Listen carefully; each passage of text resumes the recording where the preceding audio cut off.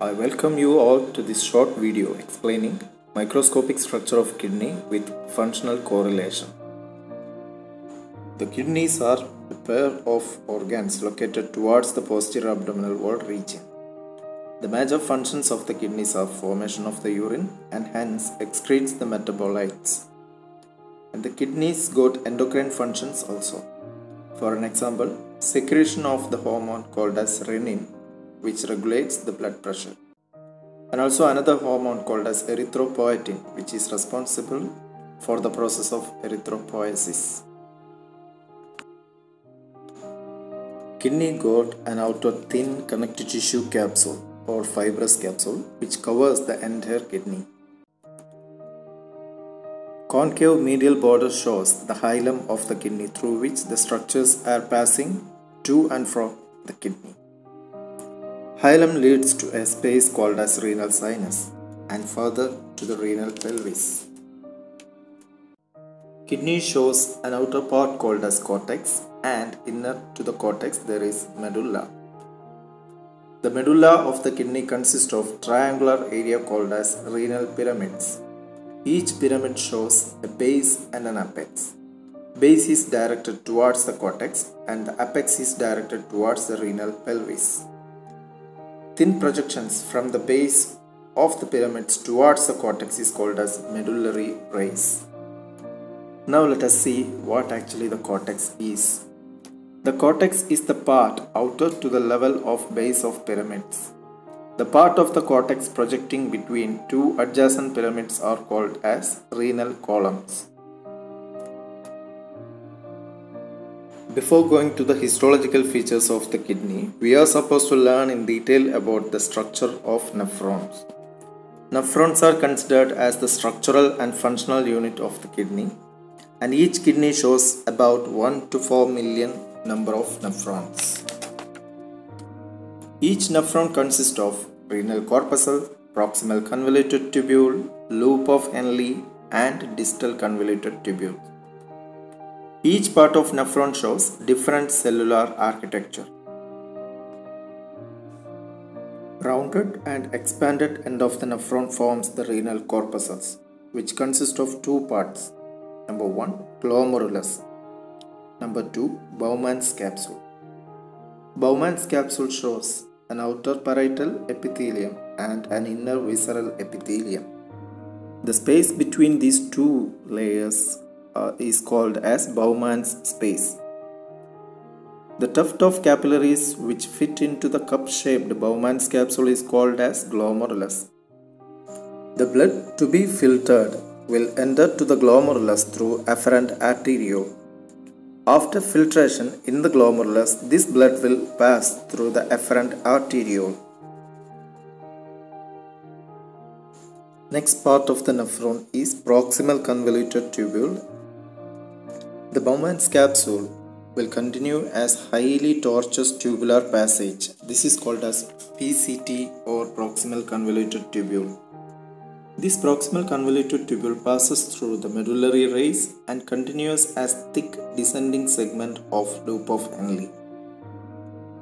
The loop of Henle is the part of the nephron which shows thick descending segment, thin descending segment, a hairpin loop, then thin and thick ascending segments.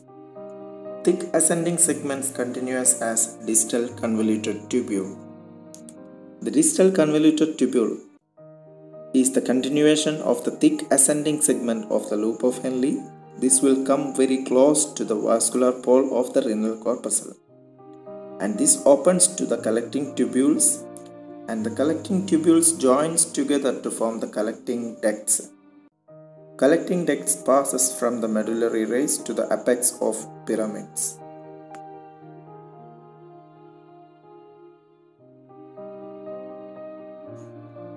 Cellular architecture of each part of kidney is different. Each part of the nephron shows different lining epithelium. First let us learn the histological features of renal corpuscle. The Bowman's capsule the, the outer parietal layer of the Bowman's capsule is lined by a simple squamous epithelium and the inner visceral layer shows a specific type of cells called as podocytes. In between these two layers, there is Bowman space to which the filtrate will be entering. The podocytes shows foot processes or pedicles. The foot process of nearby podocytes are separated by a narrow space called as filtration slits. This part shows a thin membrane called as filtration slit membrane.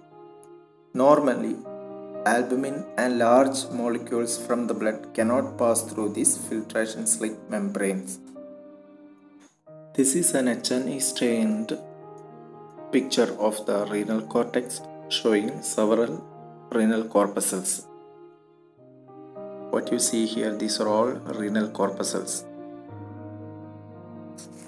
Next is proximal convoluted tubule. So this proximal convoluted tubule is seen mostly in the cortex and these proximal convoluted tubules are lined by simple cuboidal cells which shows tall microvilli in their apex.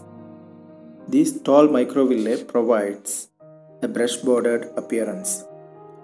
The lumen will be very narrow and their nuclei are rounded and centrally placed.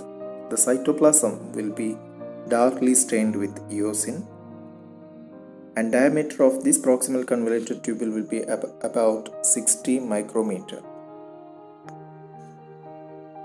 The thick descending segment of loop of Henle shows similarity with the histological features of proximal convoluted tubule that already we have explained just earlier.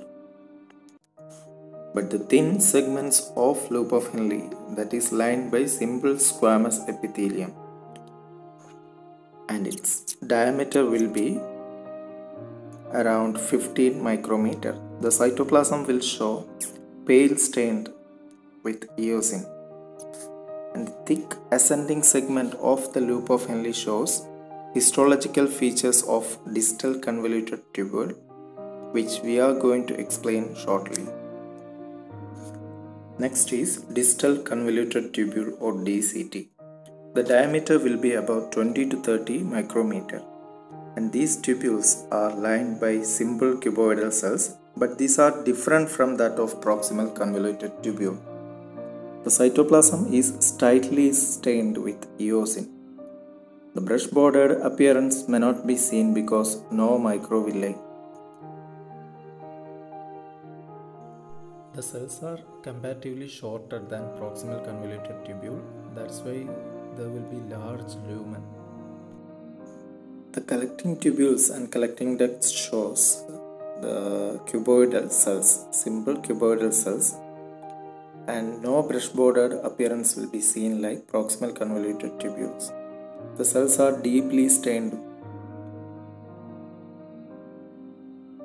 So in this picture we can appreciate uh, the renal corpuscles with Bowman's space and also proximal convoluted tubules, distal convoluted tubules and the thin segments of the loop of Henle and collecting ducts. This is the picture to show you the renal medulla. Here renal corpuscles are not seen. Renal corpuscles are not present. And additionally we can see more collecting ducts can be seen and also the thick segments of the loop of Henle.